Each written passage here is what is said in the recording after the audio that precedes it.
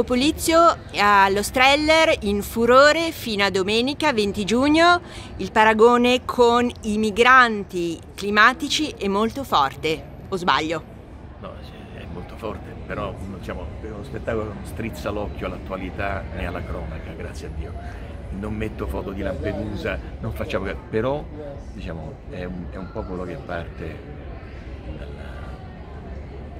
dall'est, dell'America, Oklahoma, Arkansas, per arrivare a una terra promessa, si chiama California. Non sarà una terra promessa, questo viaggio è una specie di epopea, è un'odissea.